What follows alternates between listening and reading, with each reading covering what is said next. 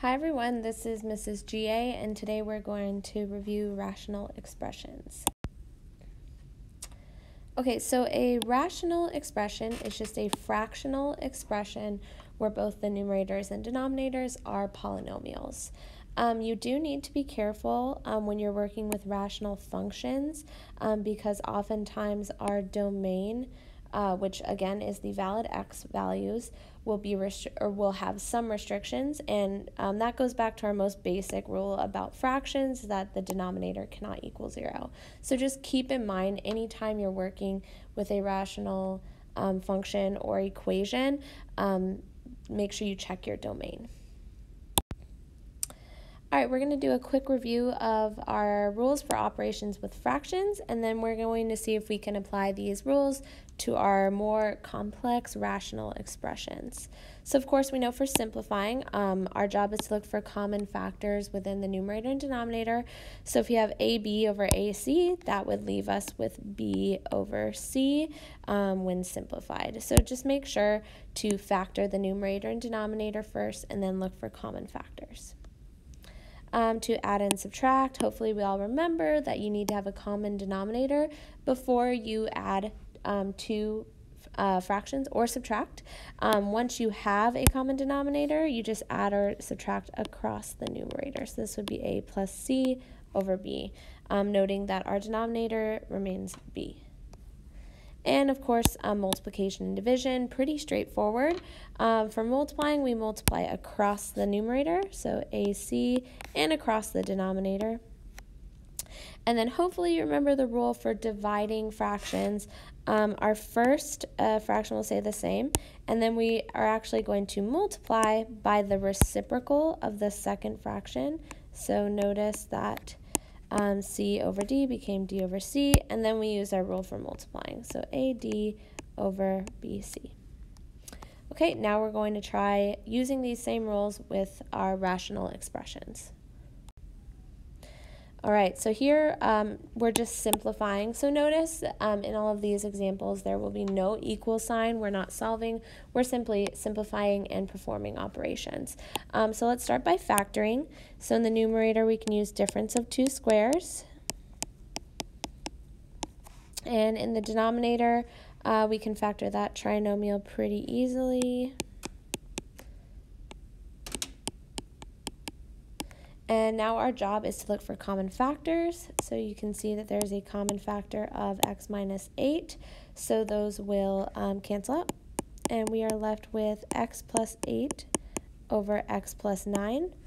Um, as I talked about with these um, domain restrictions, I am going to ask you to list what x cannot be. And in order to do that, we're going to look right here. Um, we do need to include um, factors that did cancel out, even if they're no longer in our final answer.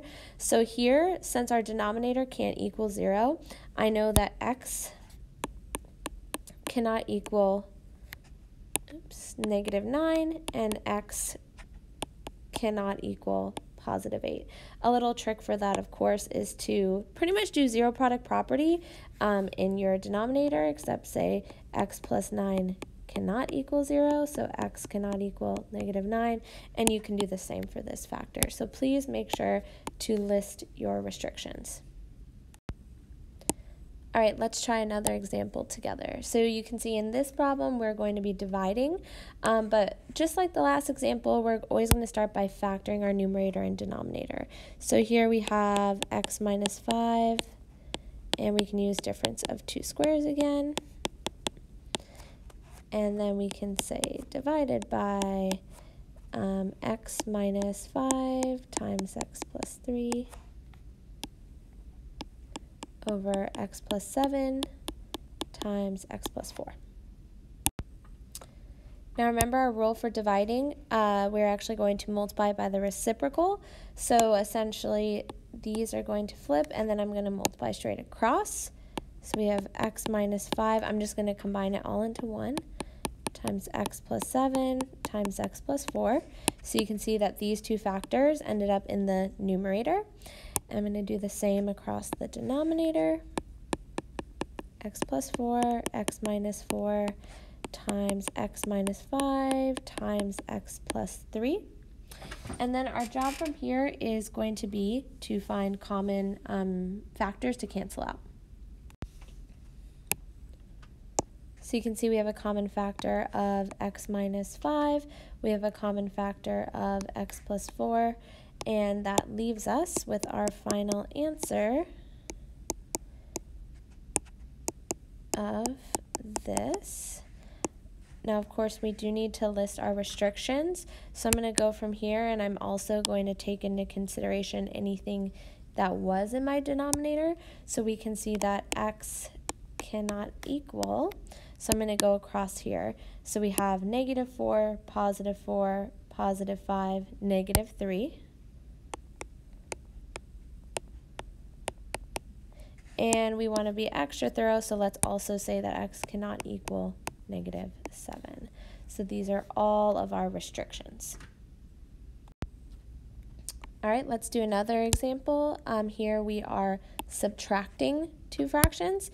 Um, so again, just like the last two examples, we're always going to start by um, factoring whenever we can. So here, let's factor our numerator, our denominator. Then we have minus 2 times x plus 1 squared, or of course you can write that as x plus 1 times x plus 1.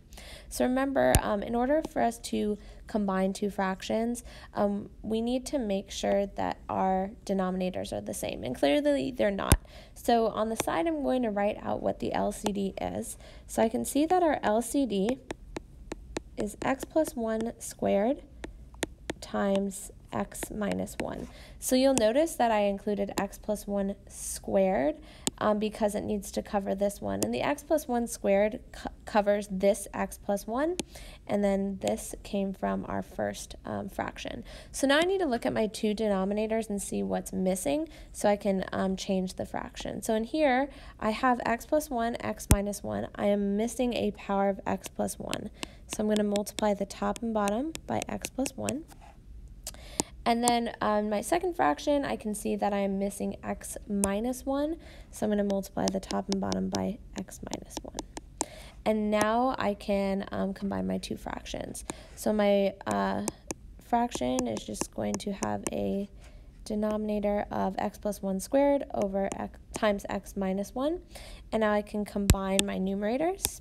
So we have um, x plus 1 minus 2 times x plus 1. So we, now we have a single fraction, and all we need to do is combine in the uh, numerator. So we have x plus 1 minus 2x plus 2. Be careful that you are distributing the negative. And then that leaves us with negative x plus 3 over x plus 1 squared times x minus 1. Now, of course, here we're going to do the same thing and list our restrictions. So x cannot be negative 1 or positive 1. Okay, go ahead and pause the video at this point and give this problem a try.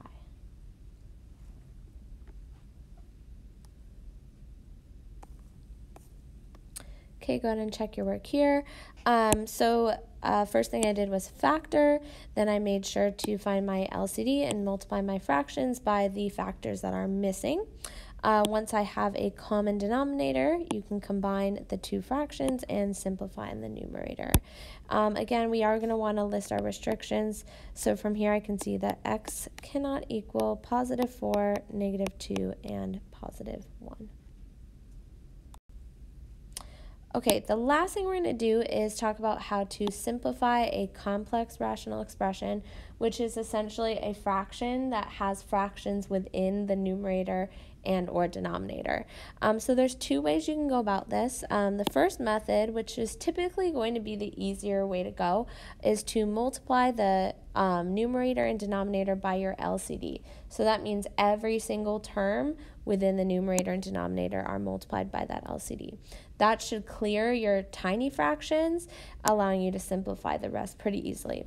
Method two um, is to combine the fractions that are within your numerator and denominator, and then you can um, continue simplifying from there. So I'm going to show you how to use um, each method and then you can decide what works best for you or maybe for that individual problem.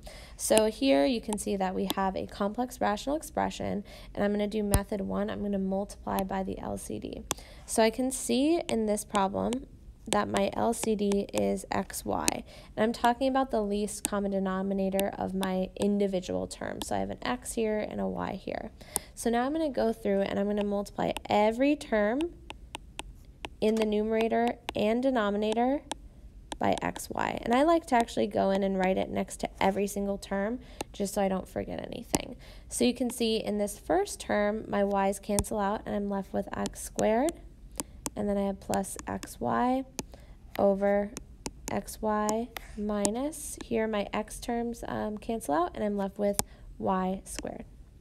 So you can see in one step, I've managed to go from a complex rational expression to just a rational expression. And then from here, we're going to want to see if we can simplify. Um, so I'm going to factor using GCF. And we are left with this as our final simplified answer. Okay, so now I'm going to show you how to use um, the other method. Um, an, an idea that you might want to try method two is that all three denominators um, within my larger rational expression are different. A plus h is a denominator, a is a denominator, and h is a denominator. So the LCD is a little bit more complex here. So I'm going to try combining the two fractions that are within my numerator. And of course, to divide, we do need to create a common um, denominator. So I'm going to multiply this first fraction by a over a, and my second fraction by a plus h over a plus h. And that will leave me with a minus a plus h over a times a plus h. Um, so that allowed me to combine these two into one, and then all over h. Now I'm going to simplify what I see um, in my numerator here before I continue. So this leaves me with a minus a minus h, so negative h over a times a plus h over h. Um, now, a little trick that I like to use um, when I'm dividing two fractions, um, I call it the double rainbow method.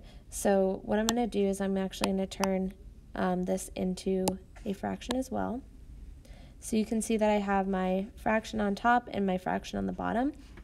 This is just a way to multiply by the reciprocal without have, having to rewrite your problem. So these two terms are going to get combined and these two terms are going to get combined. So these will end up in your numerator. Negative h times 1 is negative h.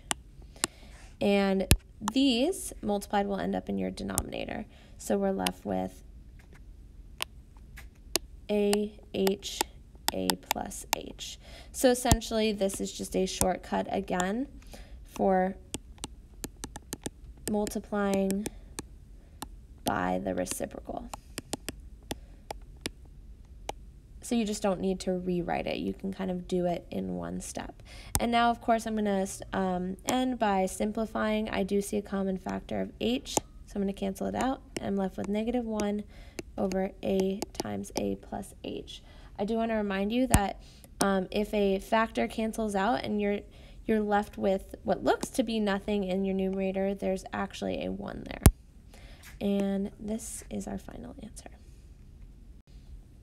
Okay, go ahead and pause the video and see if you can give uh, these two examples a try. Um, maybe try method 1 for example A and method 2 for example B, just for practice.